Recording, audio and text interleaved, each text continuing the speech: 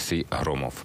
Про деталі нашої успішної військової операції та ситуації у Чорному морі далі поговоримо з речницею сил оперативного командування Південь Наталією Гуменюк. Пані Наталію, вітаю наживо в ефірі марафону Єдині новини. Е, Дозвольте наше сьогоднішнє спілкування розпочати е, з запитання про особисте, якщо дозволяєте.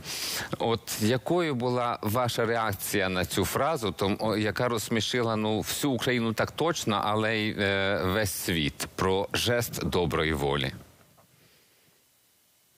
Слава Україні! Вітаю Героям всіх слава. і е, чесно.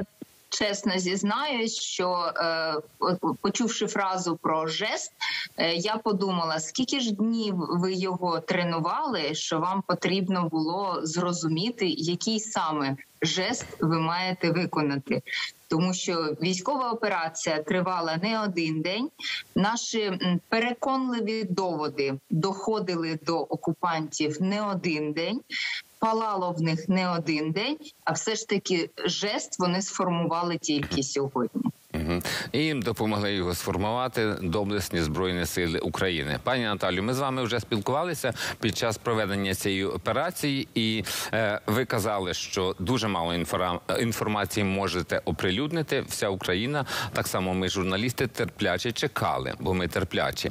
А тепер операцію завершено. І що можете повідомити, і як це відбулося? Може, вже, вже зараз можна сказати більше.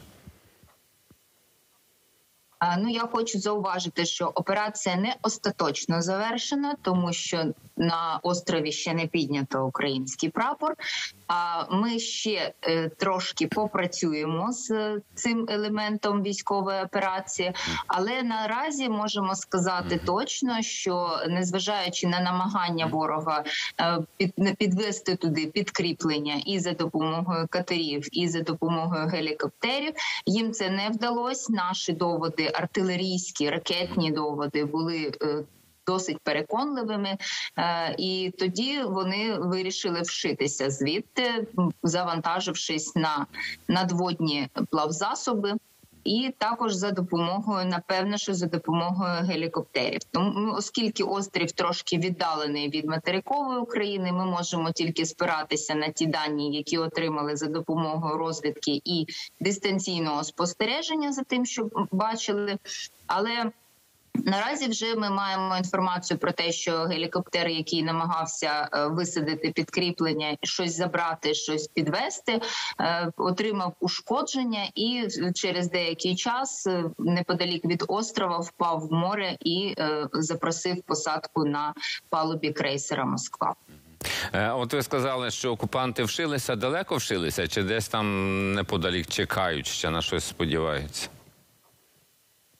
Е, Принаймні, ті катери, які стартували від острова, вони вшилися дуже далеко. Решта корабельного складу е, це два надводних ракетоносці і два великих десантних кораблі. Поки що перебувають в північно-західній частині Чорного моря, продовжуючи стримувати судноходство, судноплавство і не, не надають можливості використовувати наші е, територіальні води, в тому числі.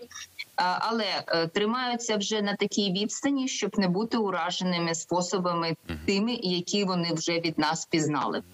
Наскільки я вас зрозумів, ще інспекції е, острова не проведено. Можливо, е, за допомогою аерофотознімків е, от тих засобів, про які ви згадували, є вже якесь уявлення про стан інфраструктури острова, тому що окупанти, коли йдуть, то після себе залишають ну дуже таку непри... неприглядну ситуацію. Що скажете про Зміїний? Чи там щось вціліло?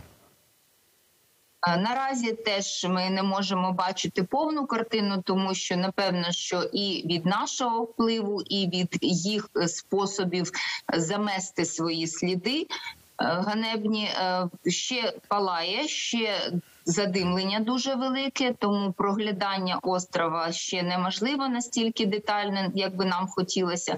Але ми пильно стежимо за цим процесом, і як тільки буде така можливість, е, природня можливість, ми обов'язково знімемо необхідну нам інформацію. Так. Наразі поки що тривають там пожежі і дим. Так, ну ви знімете інформацію. Ми будемо готові її оприлюднити. Сподіваємося, це станеться вже дуже скоро, так само як і взяття острова під фізичний контроль. Контроль, про що е, казав е, головний е, е, начальник головного управління генштабу ЗСУ Олексій Громов.